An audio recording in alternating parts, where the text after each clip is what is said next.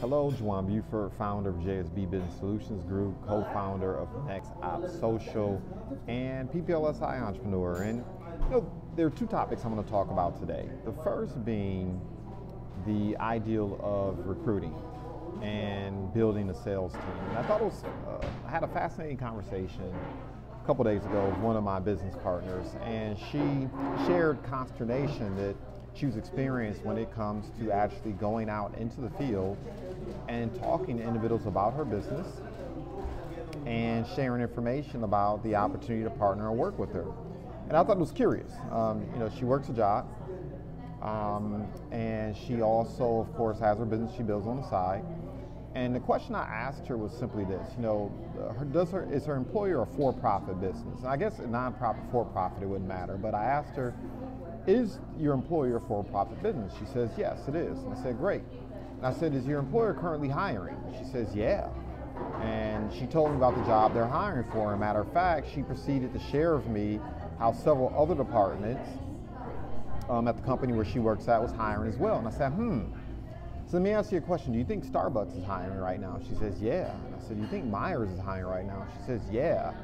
And do you think most of the companies that you shop at, whether it be for food, clothing, or anything else, is hiring? She says, yeah. And I said, fascinating. So you realize that organizations, teams, sports, athletics, um, the orchestra, um, fast food places, restaurants, factories, et cetera, et cetera, are always hiring. And even small business owners, small mom and pops are always hiring. She says, yeah. And I said, do you understand the disconnect here? You aspire to be a business owner, but you don't want to do like in my mind, the second most important thing a business owner can do. Right? If you're the CEO of a company or the founder of a company, of course, the number one thing you're doing every single day is making sure that more people know about your business today than tomorrow. But the other major responsibility you have to the business is to go out and find and attract the best talents you can find to build and scale your business, right? That's how you create more viability. And at the end of the day, it's just like sports teams. Sports teams who tend to have the most talented individuals on the team tend to win. There's no really getting around that. There are exceptions, of course, but for the most part, the teams that have the greatest amount of talent tend to win, right? Um, it's no different than in business. Nine times out of 10, maybe nine times out of 10, no, not maybe, nine times out of 10, you take two business owners who are across the street from each other, offering the same products and services, um, providing the same, let's say, quote unquote, um, level of service in terms of principles and values.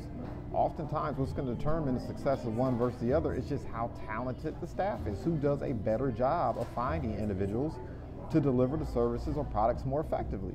It's no different than as a business owner.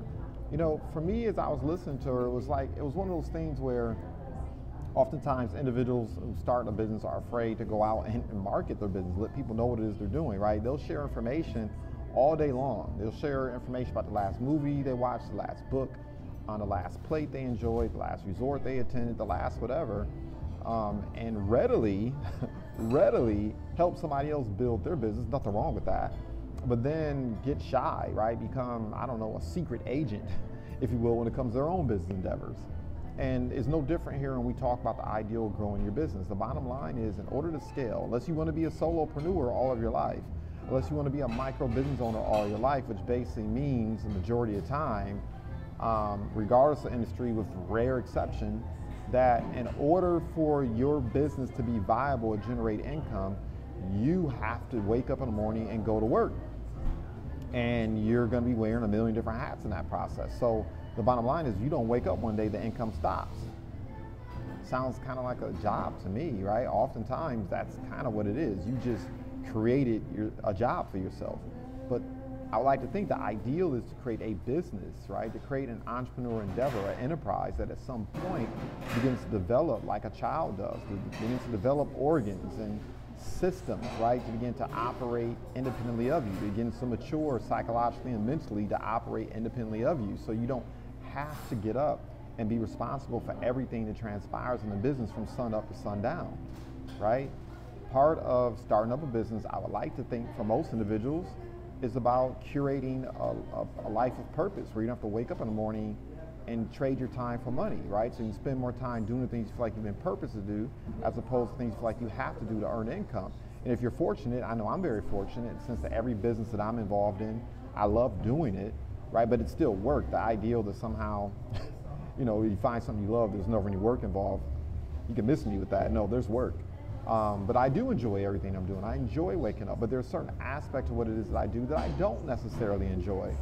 And I want to automate those things. I want to make those things systemic, right? So I can also do other things that I enjoy, right? So that being said, I wanted to kind of touch that here briefly. I thought it was important because I've had the conversation actually a couple times this week. You know how I do it. If a topic keeps coming up repeatedly over and over again, I feel like the universe is compelling me to talk about it. So, all right. The other thing I want to talk about today, aside from this ideal and mindset of um, having a, a, a, disaffinity, if you will, to building your business, um, is this ideal that I've heard one too many times today that, you know, I wish I would start a business because if I start a business, I wouldn't have to work. Like, and literally, I've had this conversation transpire two or three different times. And, you know, it's embedded in a mindset that somehow the rich don't work, that somehow um, they're just endowed with money, that somehow they're endowed with wealth. And, and the thing about them is nothing can be further the truth. Unless you're born on third base, you're going to work. Matter of fact, you're going to work even harder than the average Joe. In business, oftentimes you spend a lot of time, you expend a lot of energy and effort doing things, matter of fact, in the beginning, you don't even get paid for. So later on, assuming you're building systemically, you're building operations, you're acquiring talent, um, you're scaling your influence and your mission and purpose. So later on, you can get compensated for things you no longer have to do. But this ideal that somehow I want to be rich because there's no work there, stop it. It's like the same attitude that people exhibit when they talk about the ideal of, um, you know, I want to um, start a business, I don't want a boss. Look, when you start a business, you've increased the accountability because not only are you accountable to your clients, not only are you accountable to your staff, not only are you accountable to your vendors, not only accountable to your family, not only accountable to yourself, you have accountability all around you. Matter of fact, you take on multiple bosses. If you're starting a business to get away from a boss or to get away from work, man, you better find a, I don't know, a low wage job where, you know, you can sit down somewhere and just kind of chillax, if you will, and you know, collect enough to scrape by. But if you're trying to start up an entrepreneur endeavor and you're trying to get away from work and responsibility, you're for a rude awakening. And I just believe it was a conversation that needed to be had because I've heard this narrative so many different times. Um, it's just not true. And yeah, the work is, there's greater responsibility, there's greater accountability, there's greater responsibility. Yeah, I said that twice. Um, you're going to work more, but the rewards are greater. And you know that can't be dismissed either. The accoutrements of success is the freedom. The accoutrements of success is you do curate your lifestyle. The accoutrements of success is you can make an impact in the world of your choosing, right? You can choose what you want to do. You can choose how you serve, and you can choose who you serve. And that's one of the greatest benefits of entrepreneurship, right?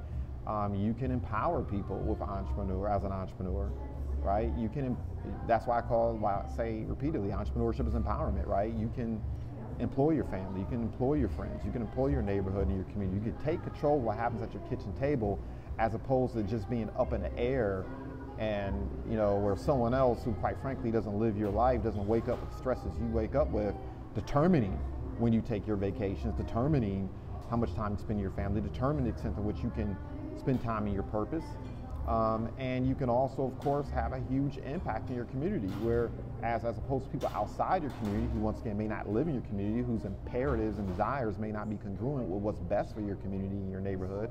Well, look, if you're the employer, you get to dictate the terms. You get to dictate what type of institution or business sits on the corner of the block you live in, whether it's a liquor store, whether or not it's a uplift center or some type of rec center, right? Or something that's more positive that contributes contributes more so to the health and wellness of the community. So, you know, that's a conversation that was like top of mind as I'm in between appointments and sipping on coffee and reflecting and working and all that other fun stuff, getting my entrepreneurship on. Hope this serves you. Celebrate success in advance. Goodbye for now.